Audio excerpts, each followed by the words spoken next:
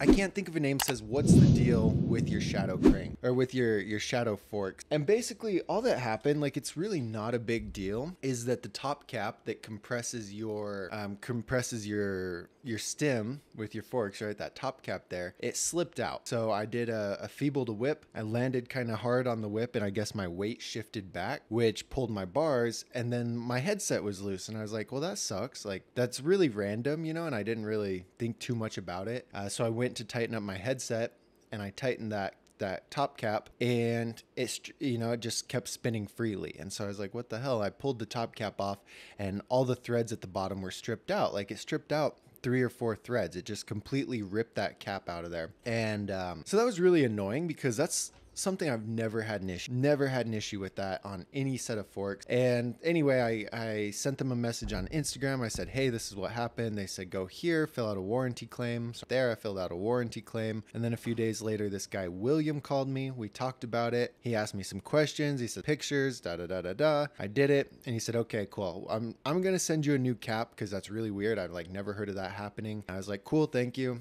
and he still hasn't sent the cap. It's been like, I don't know, two weeks. So I'm a little, at first I was fine. I was like, hey, cool. I appreciate like the quick response, working with me quickly to get this figured out. And in the meantime, after I talked to William, I ordered R25 forks and said the hell with the shadow forks. And the, the R25 forks came from Dan's Comp before I even got the top cap. I still haven't gotten the top cap.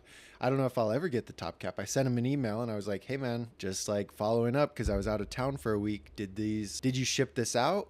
If not, when will you? Like, when can I expect it? Because I'm gonna be gone again." And um, nothing. Heard nothing. So I don't know. I think they're playing with my heart a little bit. Very frustrating.